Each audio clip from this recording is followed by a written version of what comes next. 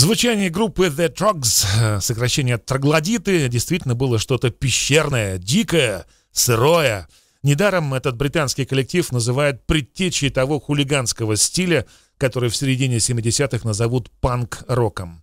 Имиджу панк-рокеров способствовало и то, что участники Трогс были простыми работягами из Хэмпшира. Они работали на стройке.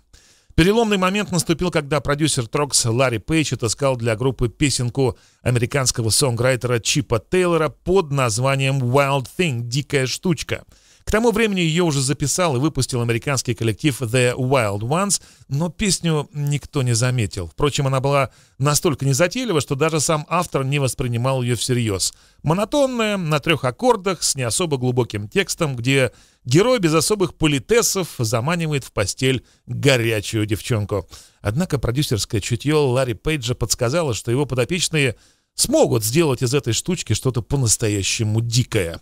В феврале 1966 года Пейдж снял студию для записи оркестра, а парней из Строгс оставил мерзнуть в автобусе в надежде, что для них останется лишнее студийное время. В итоге на все про все группе осталось лишь 45 минут. Пока троглодиты настраивались и разогревались, на записи осталось и вовсе минут 15. Вот однако за это время ребята успели записать не только Wild Thing, но еще и собственную песню With a Girl Like You. Пейдж устроил молодым рокерам бесплатную запись, совершенно не надеясь на успех выбранной песни. Он хотел просто их приободрить и дать возможность поверить в то, что их музыкальная карьера потихоньку раскручивается. Однако, неожиданно для всех, песня, сыгранная одервенелыми от мороза пальцами и спетая с одного дубля, начала быстро подниматься в списках популярности.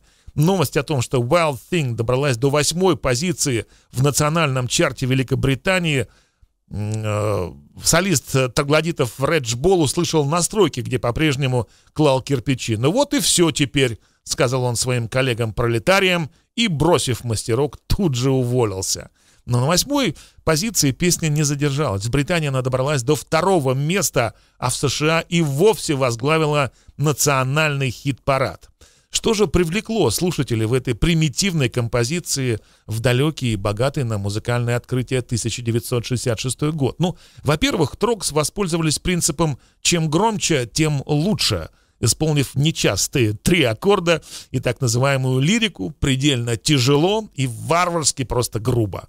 Кроме того, группа добавила в песню еще две интересные фишки. Одна — это неожиданные паузы, подслушанные троглодитами у Элвиса Пресли в «Heartbreak Hotel», а вторая — соло на акарине, глиняной флейте-свистульке — чего никто из рок-музыкантов до них сделать не додумался.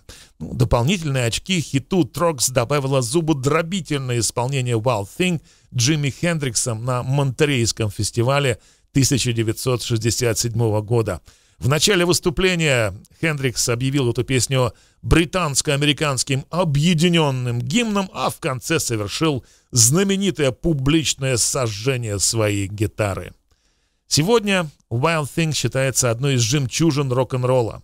А мораль этой истории я бы определил так. Для того, чтобы попасть в музыкальную историю человечества, иногда нужно всего три аккорда и 15 минут чужого времени в студии звукозаписи. Для тех, кто будет смотреть этот сюжет э, на страничке нашей радиостанции в Фейсбуке или Ютубе, ссылку на песню ищите под названием этого сюжета. А сейчас обещанная Wild Thing от группы The Trugs.